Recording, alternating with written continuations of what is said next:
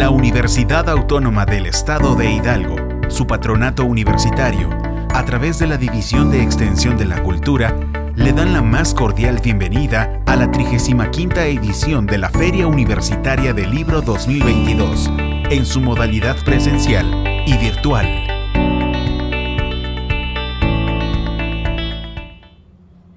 Buenos días. Eh, yo les doy la más cordial bienvenida a la 35 edición de la Feria Universitaria del Libro, así como a este subprograma de profesionales que es el octavo Encuentro Universitario de Traductores. Esta mañana me da mucho gusto presentar a Juan Carlos Rangel, Gabriela Montes y José Luis Magaña, eh, los tres intérpretes y traductores reconocidos quienes nos acompañan hoy para hablar de un tema sumamente importante y necesario discutir, que es la inclusión de personas sordomudas, el ampliar la accesibilidad de medios y materiales para esta minoría que muchas veces olvidamos cuando hablamos de abatir las barreras de comunicación como intérpretes y traductores. Yo les doy la más cordial bienvenida a, esta Feria Universitaria del Libro y por supuesto a nuestras actividades del octavo Encuentro Universitario de Traductores. Adelante. Hola, ¿qué tal? Muy buenas tardes, bienvenidas y bienvenidos al octavo Encuentro Universitario de Traductores de la Universidad Autónoma del Estado de Hidalgo. Bueno, pues nos vamos a presentar. Primero voy a presentar a mis dos colegas, que es el doctor Juan Carlos Rangel. Él es catedrático de la este, Benemérita Escuela Normal del Estado de San Luis Potosí. Él es intérprete y también colega de nosotros. Y tampoco quiero omitir a mi colega, que es José Luis Magaña Cabrera, que es un intérprete reconocido y famoso a nivel Latinoamérica sobre lenguas de señas mexicana principalmente y también de lengua de señas americana, así como intérprete de inglés-español y una servidora, Gabriela Montes Herrera, que soy intérprete y traductor también de lengua de señas mexicana. Así que sean bienvenidos y bienvenidas. Muchas gracias, buenos días, buenas tardes, bienvenidas, bienvenidos a todas, todos. José Luis, Muchas gracias. Muchas gracias. Y pues para nosotros es un gusto poder estar aquí con ustedes. El tema que, que nos compete, como ya comentó este Gaby, tiene que ver con esto, este proceso que está siendo pues cada vez más usado de poder pasar la información, a traducirla a la lengua de señas. Y obviamente, eh, aunque usamos las mismas técnicas que se usan en la traducción de lenguas orales, pero eh, hay una diferencia importante que se debe de tener en cuenta.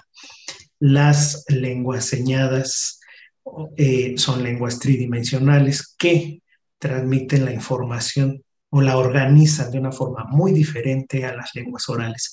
Y esto representa un reto todavía más para el traductor. Entonces, eh, vamos a estar viendo algunos elementos eh, que necesitamos eh, entender, porque a veces se busca un término que sea igual al término en español, por ejemplo, en este caso. Sin embargo, al hacer eso, a veces el mensaje se desvía completamente de lo que queremos decir. Y ahorita vamos a ver algunos, algunos ejemplos. Eh, ¿Quieren comentar algo, agregar algo en lo que voy poniendo en la presentación? Sí, eh, en este caso, como lo ha mencionado José Luis, como lo menciona Gaby, este tema en nuestra actualidad pues también es sumamente relevante porque vemos que con todo lo que viene siendo por por lo pronto en nuestro país el acceso a lo que viene siendo la comunicación y esta nueva política de inclusión, todo lo que vienen siendo estas nuevas condiciones son elementos importantes para todos los ámbitos, y en particular mucho para lo que es este aspecto que, en el que yo me desenvuelvo, que es en el escolar, en el educativo. Por ahí vamos a iniciar entonces con una presentación para que podamos llevar en orden toda la propuesta que traemos para ustedes. Si me permiten, yo quisiera aquí nada más leer el título de, de este trabajo que se está presentando, el cual es Traducción de textos escritos a la lengua de señas mexicana y empezamos con una reflexión interesante. No todo lo que se dice en una lengua se puede decir en otra, a menos que la forma sea un elemento esencial del mensaje. Sobre este tipo de ideas vamos a estar trabajando mucho a lo largo de esta sesión.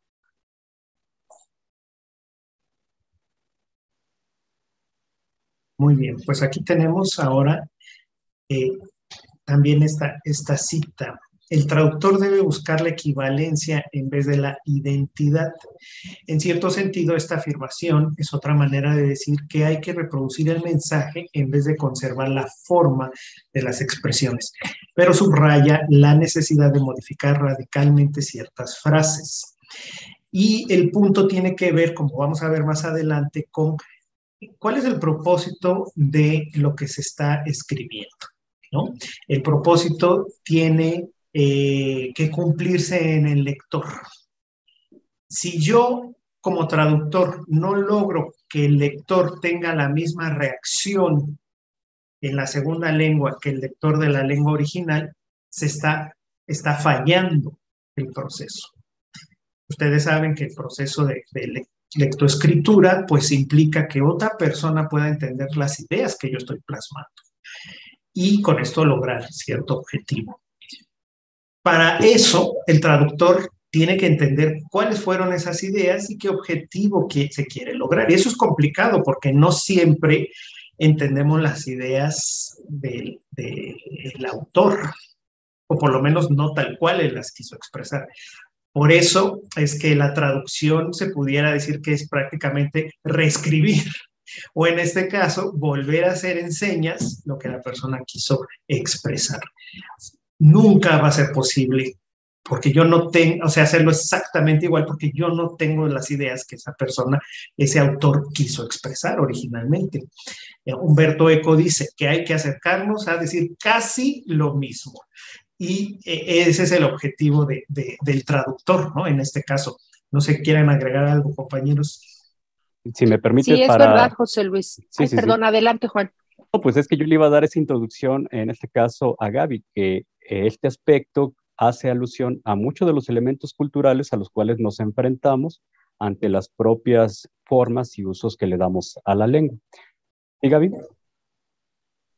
Sí, es cierto lo que comentan, chicos, porque, por ejemplo, cuando tenemos nosotros en nuestras manos un libro, obviamente el autor no va a adaptarse al receptor, ¿no? Entonces, lo que hace el autor es simplemente exponer sus ideas, plasmarlas. Entonces, nosotros somos los que tenemos de alguna manera que continuar esa concepción o percepción de lo que nos está diciendo el autor.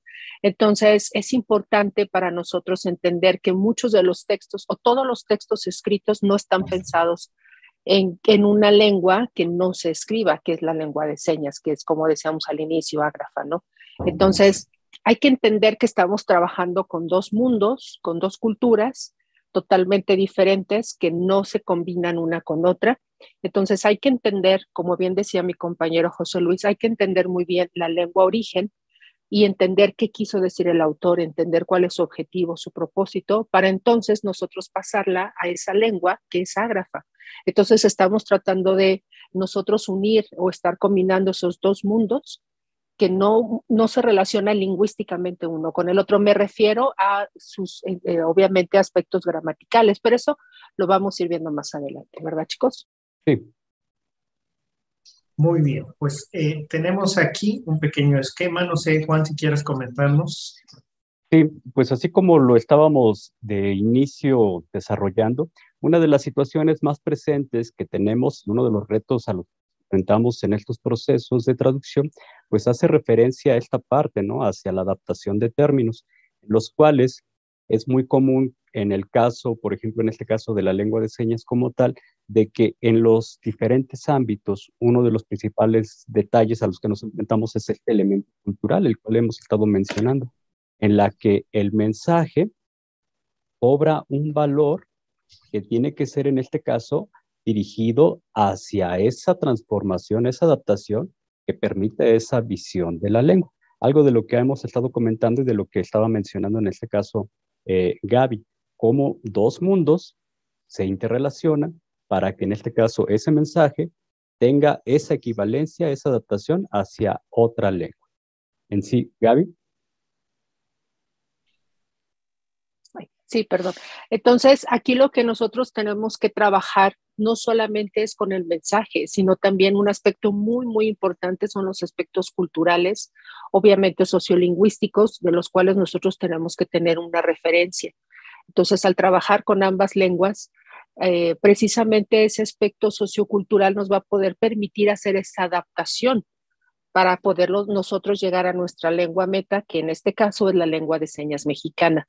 Entonces es un proceso, como bien lo vamos a estar viendo, son procesos mentales. Todos procesos de traducción no es solamente un ejercicio como mucha gente piensa, que solamente es cuando ah, piensan en lengua de señas, piensan que solamente son movimientos gestuales y mímicos, eh, puede ser de alguna manera exagerada, pero no es así. Todos estos movimientos tienen una exactitud este, sintáctica y lingüística, y eso es parte de esa adaptación que nosotros tenemos que hacer a la lengua de señas. Entonces, no es nada más ver aspectos lingüísticos y gramaticales, sino también es ver aspectos sociolingüísticos que están muy relacionados con los aspectos culturales que ambas lenguas manejan.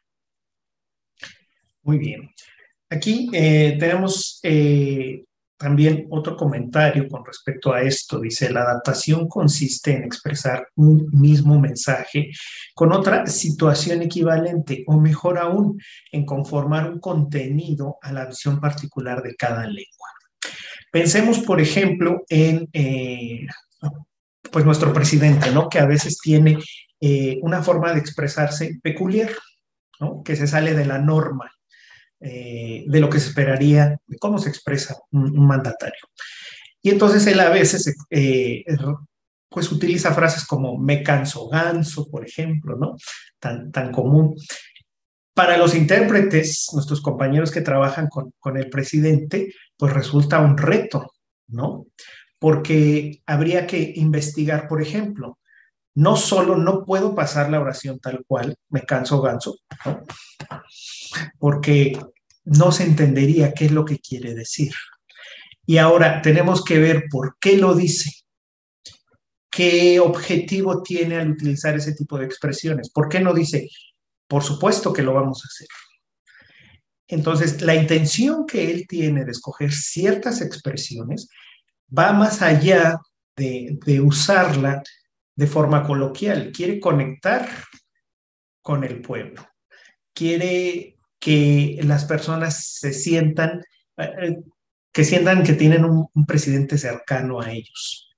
Entonces, esto es parte del mensaje y yo tendría como intérprete que buscar la forma en que esta cultura, como eh, traductor, por ejemplo, en el caso de, que se fuera un texto escrito, eh, cómo esa cultura expresa ese, esa cercanía, cómo, cómo esa cultura rompe el protocolo para que se logre el mismo efecto. Entonces es lo que nos menciona aquí, ¿no? Vázquez Ayora. Tendríamos que conformar este contenido a la visión particular de esta lengua. No solo es buscar, ¿no? Decir, sí, seguro se va a hacer. Pero en la lengua de señas, ¿qué utilizan? ¿Qué, qué expresión yo no esperaría que un presidente utilizara. Y eso es parte de la cultura. Entonces aquí el traductor en este caso tendría que buscar alguna otra herramienta para producir ese mismo efecto. Compañeros, no sé, quieran comentar algo más.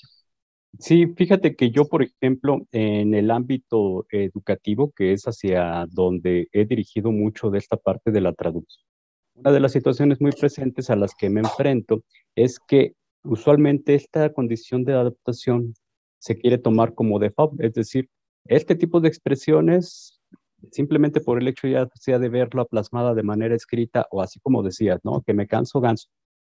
Son elementos que de repente para otras personas que no estamos tan avivadas en lo que viene siendo estos eh, escenarios como tales, pues sí causan un reto más que otra cosa por el desconocimiento y el acercamiento con esos eh, panoramas culturales. Pero tal cual, así como lo has expresado, creo que cobra un significado muy claro. Tenemos que considerar, en este caso, el contenido desde cada visión de estas leyes. ¿Gaby? Es cierto, y yo creo que aquí es donde la traducción entraría en un campo eh, multidisciplinario o interdisciplinario, diría yo, porque no solamente abarcamos cuestiones de lingüística o cuestiones culturales, sino también incluso cuestiones de psicología, de pedagogía, de filosofía, estudios literarios, estudios sociales. Entonces, yo creo que este campo de la traducción no puede hacerse pensando que solamente tenemos que saber aspectos lingüísticos, sino que más bien el enfoque tiene que ser interdisciplinario, lo cual nos va a permitir a nosotros entender todas estas gamas, como el ejemplo que nos ponía José Luis. O sea, eh, obviamente el orador, ¿cuál es la intención comunicativa que tiene? Entonces, si la intención comunicativa es esto, entonces ahí entraría un aspecto cultural y un aspecto, obviamente, pues también lingüístico y filosófico. Entonces, eh, a veces pensamos que los campos de la traducción o la traducción solamente tiene que ser de forma lineal pero no, yo creo que en el momento de entender este enfoque que tiene que ser este interdisciplinario, pues entonces el resultado que se va a obtener pues va a ser mucho mejor, va a ser óptimo. Entonces, pues se requiere precisamente tener todos estos conocimientos al respecto, ¿no? Así es. Tenemos ahora aquí un esquema, ¿no? Un poquito del el proceso de traducción, donde aquí podemos ver la adaptación cómo puede funcionar dentro de este proceso, ¿no? Tenemos la lengua fuente, origen, texto original y una parte importante, neutralizar el contenido. Equivalente, buscar un equivalente funcional, ¿no? Esto es importante porque em, a veces nos casamos los traductores de una palabra seña. Y a veces se, se, ve forzado el uso de esa seña en cierto contexto, porque se tiene, ah, no, es que esta palabra significa esta seña o viceversa. Entonces se trata de buscar un equivalente funcional en el contexto en el que estamos trabajando. Obviamente, pues va, una vez que lo encontremos, para expresarlo en la lengua de llegada o destino, y esto pues sería ya la traducción como tal. Entonces, es, estos eh, puntos, ¿no? neutralizar el contenido y buscar un equivalente funcional, a veces no se entienden claramente. Eh, y esto puede ocasionar, ¿no? Un, pues caer desde la transliteración, ¿no? Que sería prácticamente el español signado o señado, hasta eh, obviamente cambiar completamente el significado de lo que queremos decir por no buscar un, equivalente adecuado en el contexto en el que estamos usando. Y cuando yo como eh, traductor en este caso entiendo el texto original después de un análisis, eh, puedo neutralizar el, el, contenido. En este caso, despojarlo de estos elementos culturales eh, eh, ya, no, ya no utilizaría me canso ganso. Ya, no, ya ahora lo despojo de estas palabras, me quedo con la idea, cuál es la intención, cuál es el propósito en este contexto y puedo buscar el mejor equivalente en ese contexto. Y puede ser que se, se traduzca de una forma en una parte y en otra parte se utilice otro equivalente diferente porque se adecua mejor al contexto que hay en esa otra parte.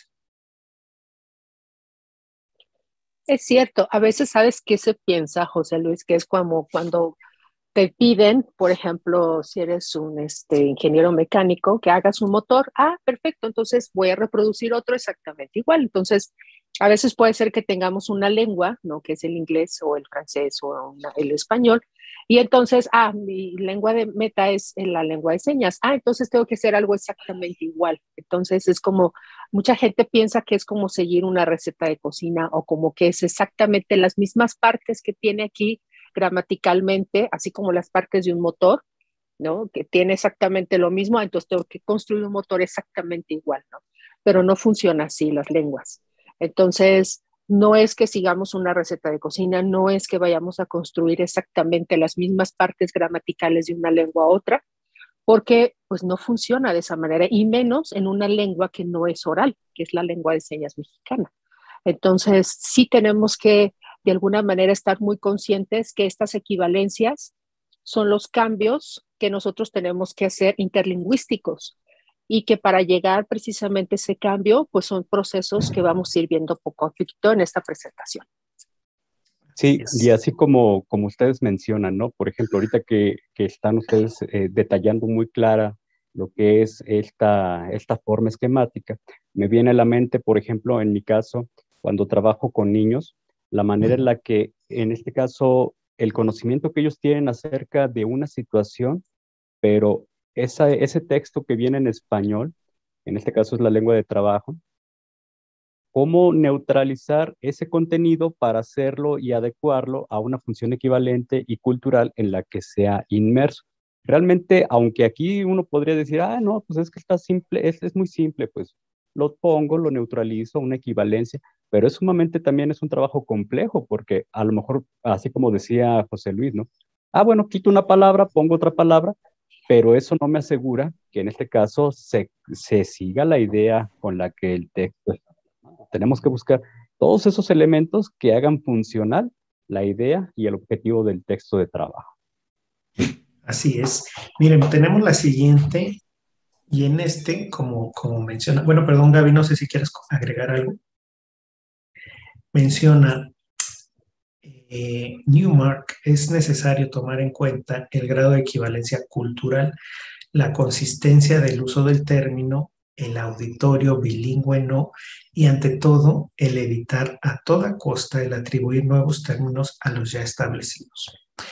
Y por ejemplo, tenemos aquí eh, en la primera oración dice The Ball State Teachers College Conference. Y en la traducción, no, tal vez The Ball State Teachers College Conference y entre paréntesis Congreso dirigido a los intérpretes en 1964. ¿Por qué esta breve explicación?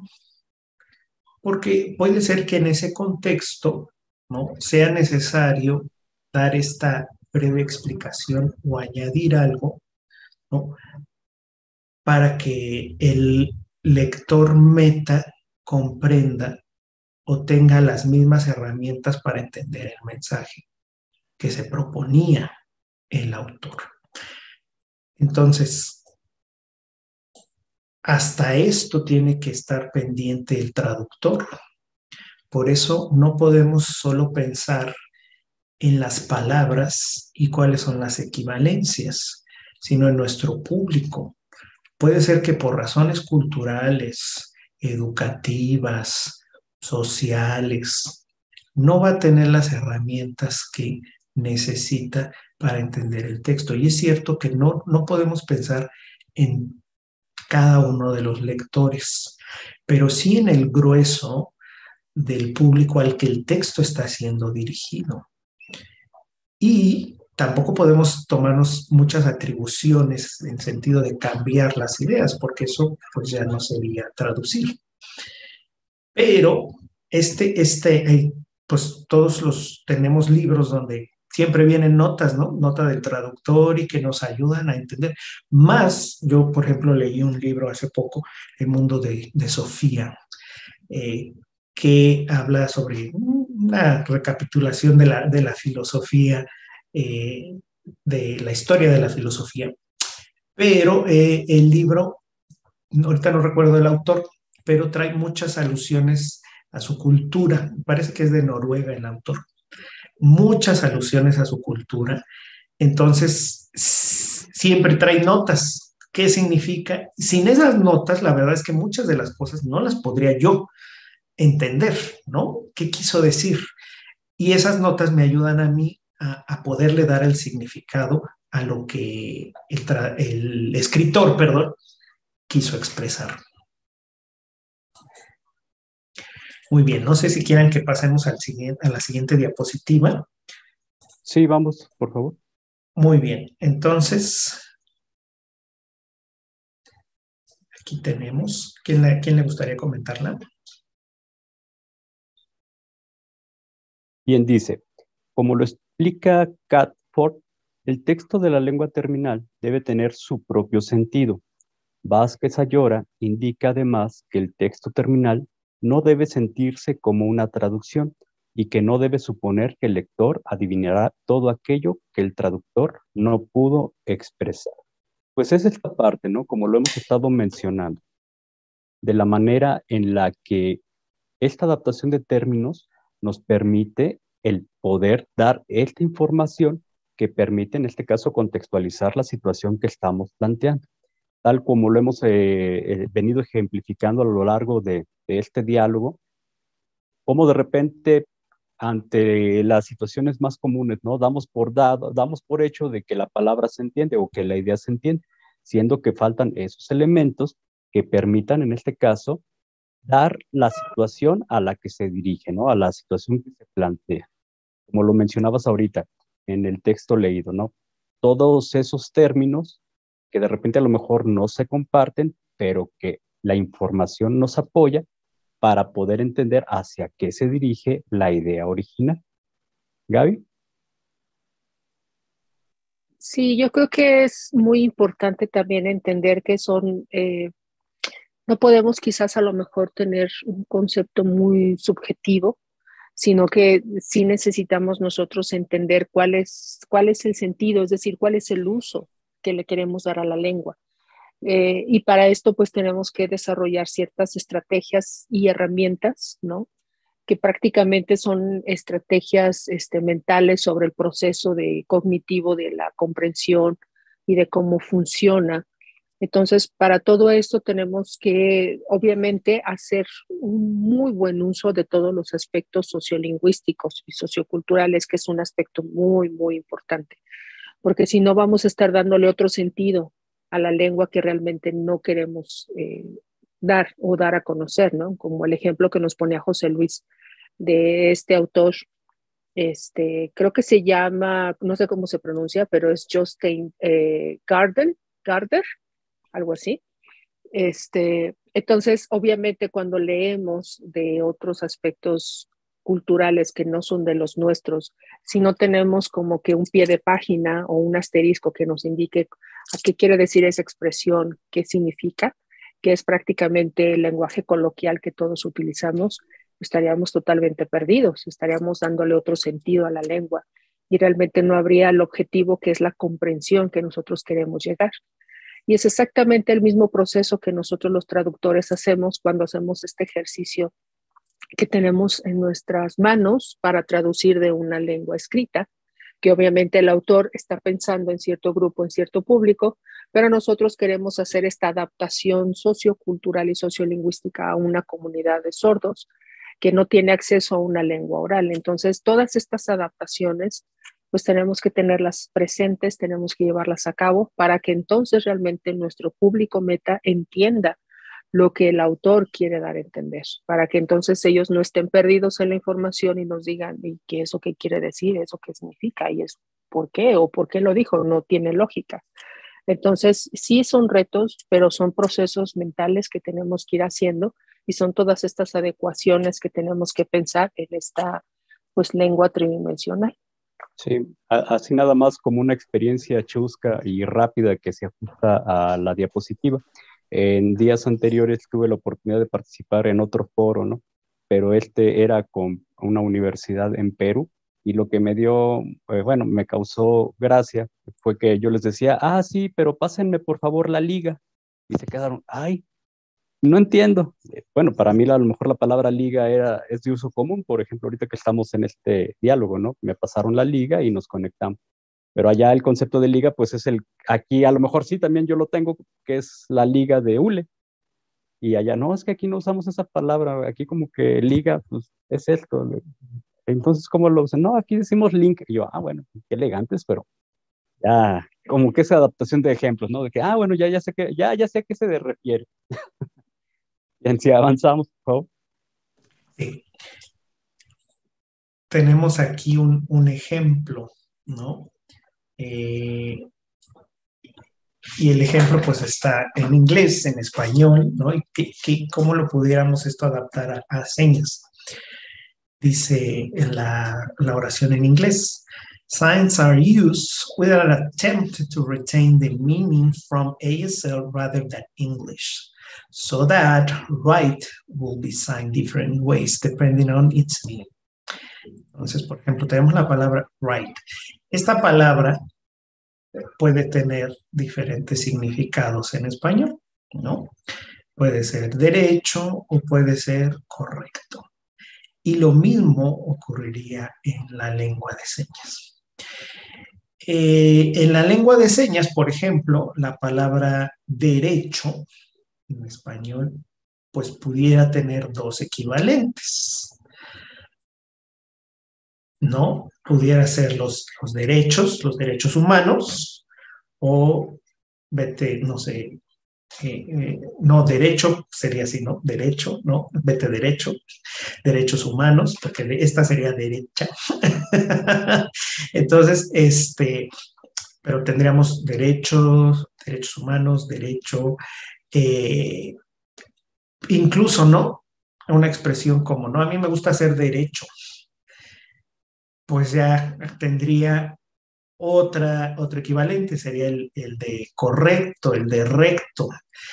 Entonces, pues ahí yo ya no pudiera decir, a mí me gusta hacer derecho, ¿no? Este, o a mí me gusta hacer derecho. No, ya tendría yo que ser, a mí me gusta ser decente o ser honrado o a mí me gusta comportarme de esta forma. Entonces, aquí vemos, ¿no? Cómo tendría del contexto, pues tendríamos que eh, buscar cuál sería el mejor equivalente eh, en este punto. Menciona aquí, ¿no? Igual está aquí. Como lo indica Vázquez Ayora, toda falta de adaptación significaría obligar al lector a transportarse a una realidad extraña y falsa. Y para evitarlo hay que efectuar los giros necesarios. Entonces, eh, como ya lo hemos estado comentando, ¿no? Para ser un buen traductor en general, pues hay que conocer la cultura. Y en este caso, para traducir a lengua de señas, implica también poder manejar estos aspectos tridimensionales de la lengua. Me llama la atención esto, ¿no? Que si no transportamos al, lector, o en este caso a la persona que está viendo la traducción en señas, a una realidad extraña y falsa, ¿no?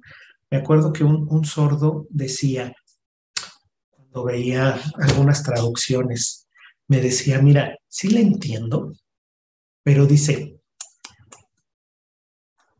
le falta sabor, me decía, le falta sabor. O sea, sí entiendo qué me quiere decir, pero le falta sabor. Y yo le decía, bueno, ¿cómo lo dirías? lo cambiaba completamente, ¿no? Adecuado, le quitaba señas, le metía más gestos, ponía utilizaba el espacio. Entonces lo hacía de una forma que era muy natural. Y, y esto que vimos en la otra diapositiva, donde no tiene que parecer una traducción, pues es muy importante, porque yo creo que a todos nos ha tocado leer algo que tú dices, qué quiere decir y, que se ve, más cuando uno sabe inglés, te das cuenta de que lo copiaron tal cual, ¿no? Lo, lo transliteraron. Y dices, así no lo decimos, así no, no me, quieren decir otra cosa, quisieron decir esto, pero no es la palabra que se usa. Y cuando te topas con un texto así, el problema es que ya no estás viendo el contenido, estás viendo la forma. Y ya eso te impide poder disfrutar de ese texto o aprender del texto. Y ya ni siquiera, bueno, no sé si a ustedes les pase, pero ya ni siquiera confías en la información, porque dices, bueno, pues si está así, ¿no? ¿Cómo, sé que esto que me están diciendo eh, es correcto, ¿no? Si está mal, mal, mal traducido. Yo creo que sí nos ha pasado y yo creo que es, es una situación que a veces, a mí me ha tocado de que a veces leo un libro con una versión de una traducción y luego me toca leer igual, digo, bueno, pero ¿por qué este libro viene diferente si es exactamente el mismo tema, el, el, mismo autor? Pero obviamente ahí nos damos cuenta que muchas traducciones son diferentes. Entonces ya me ha tocado leer un libro en diferentes versiones, diferentes traducciones y sí, en lo personal yo digo, no, prefiero mejor esta versión porque creo que esta versión eh, realmente se apega más a lo que el autor quería transmitir. Entonces, no sé, yo creo que así como me siento yo, quiero imaginar que así también la comunidad sorda percibe cuando recibe una traducción de un texto escrito a su lengua de señas que dicen, como lo decías, ¿no, José Luis? Que la gente dice, ok, bueno, sí, entiendo el mensaje, pero como que no disfruto, no disfruto de verlo porque realmente no, no está adecuado realmente a mis necesidades como persona, como individuo. Entonces yo creo que eso es algo que muchas veces, que obviamente por la presión del trabajo, por la presión del tiempo, el traductor se le olvida pensar en esa parte, ¿no?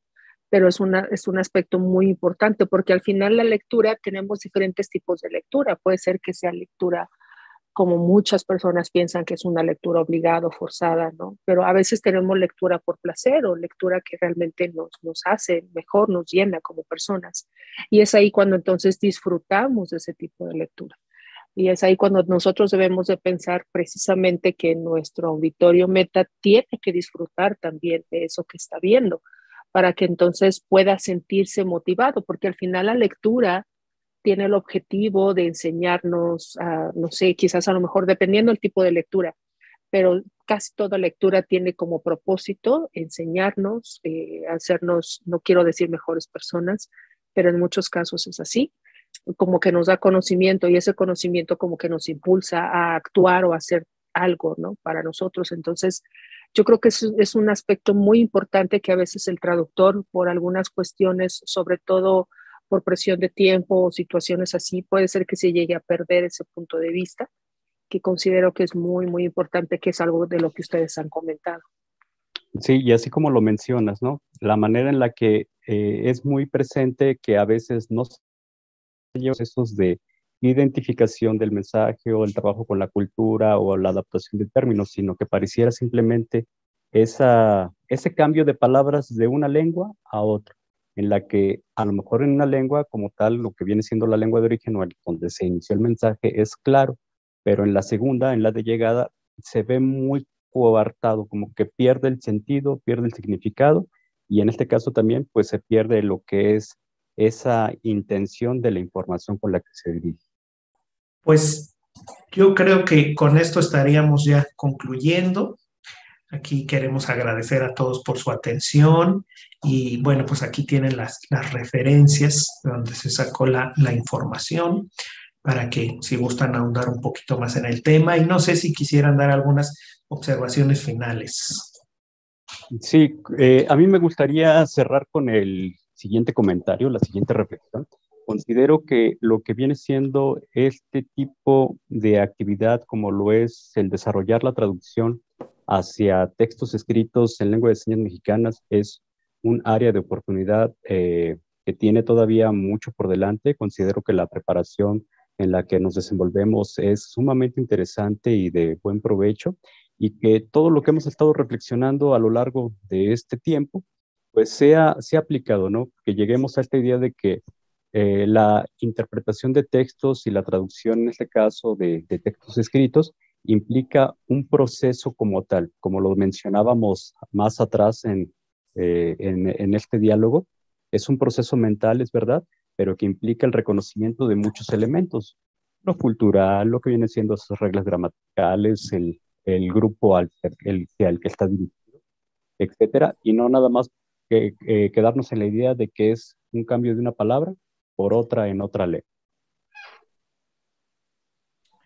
Así es, Gaby. No sé si quieras concluir con algún comentario. Sí, eso me hizo, lo que comentó Juan Carlos me hizo recordar su libro, José Luis, el que tiene Sergio Peña y José Luis Magaña, que tienen un libro, se llama Lo que hace un intérprete ser intérprete, muy buen libro, consúltelo. Entonces, que ahí viene una expresión que eh, ser intérprete no es como hacer un cambio, ¿no? Como si fueras una, una casa de cambio, ¿no? Que te llega un, te llega tu dinero en tu tu moneda, ¿no? Y tú vas a otro país y lo canjeas por otra moneda. O sea, eh, las lenguas no son así. O sea, no es de que yo tengo una palabra, entonces voy a buscar y ya encuentro esta, ah, esta la cambio por esta, entonces ya, aquí está, ¿no? No funciona así, no funciona de esa manera la lengua de señas. Entonces, no, o como repetimos, no es un taller, no, no pudimos enfocarnos eh, específicamente a lo que, cómo hacer algunos ejemplos de traducción, ¿no? Eh, quizás a lo mejor en otra ocasión, si puede ser que nos llegasen a invitar, pues con mucho gusto podemos este, ya explicarles cómo hacer todos estos procesos cognitivos que mencionaban mis compañeros, este, para que entonces ustedes eh, sepan ahora sí qué herramientas y qué aspectos se utilizan. Ahora, si quieren saber, pues eh, José Luis se dedica a dar cursos y talleres, entonces yo creo que él muy bien puede dar información sobre cómo dar esos cursos. O si quieren ustedes aprender más, pues él igual les puede dar toda esa información, tanto de su libro o de su taller. Así que, este, pues muchas gracias por escucharnos, muchas gracias a los organizadores que nos invitaron a este encuentro, muy agradecidos. Esperemos que esta charla les haya sido de utilidad, que hayan ustedes visto pues cuáles son todos estos procesos que tiene que hacer el, traductor cuando precisamente tiene que hacer un trabajo en lengua de señas. Entonces, muchas gracias. José Luis, si quieres cerrar, por favor, gracias. No, pues nada más comentar que eh, eh, a veces consideramos los, los intérpretes que interpretar y traducir es, es, lo mismo. No, tienen técnicas diferentes, entonces así como hay, así como no alguien que habla señas ya puede ser intérprete, tampoco un intérprete ya puede ser traductor, ¿no? Porque se requiere, por supuesto que va a tener muchas herramientas, ¿no? Para poder hacerlo, pero se requiere aprender otras herramientas ya que eh, la naturaleza de la traducción en señas es diferente, ¿no? Por ejemplo, hay que grabarse, a veces hay que adecuar la información a una cantidad específica de tiempo, e, etcétera, ¿no? Muchos elementos que en la traducción de lenguas orales pues ni siquiera existen, ¿no? Entonces, sí es un trabajo diferente, es un, como, como todo, permite, ¿no? Esta eh, conexión entre dos mundos, la accesibilidad a la comunidad de personas sordas, es un trabajo muy noble, pero sí es importante que nos sigamos preparando todos, ¿no? Para poder realizar este trabajo. Y bueno, pues la invitación a, seguirnos, ¿no? Preparándose en este, en este hermoso mundo de la traducción, la interpretación. Pues agradecerles también a los organizadores por esta oportunidad y esperemos después haya una oportunidad de más, más talleres, más conversaciones con esta y ustedes compañeros también. Eh, siempre un placer estar con ustedes. Agradezco mucho la participación de Juan Carlos, Gabriela y José Luis. Muchísimas gracias por haber participado en esta edición del Encuentro de Traductores de nuestra máxima casa de estudios, la Universidad Autónoma del Estado de Hidalgo. Em, gracias a todos los que se conectaron en Megaportal para ver esta presentación. Les recordamos que eh, en la página eh, oficial de la Feria Universitaria del Libro, que es www.uaeh.edu.mx diagonal full. Encontrarán el programa completo de actividades de la feria y también ahí está incluido el eh, contenido del programa de profesionales, el octavo encuentro universitario de traductores. Muchas gracias por acompañarnos, que tengan excelente día.